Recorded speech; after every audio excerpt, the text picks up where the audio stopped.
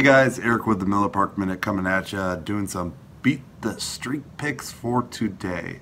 Uh, yesterday we got two hits, uh, Ryan Braun and Aaron Judge, both guys hits. So today we continue the Brewers theme as always uh, with Orlando Arcia and Jose Altuve, uh, both common picks for me, very favorite picks. Uh, they always tend to get hits, so let's hope our streak continues. And then, as always, check out my profile, check out the link below. Either way, YouTube, Instagram, wherever you're seeing this, like, subscribe. Thanks again, guys.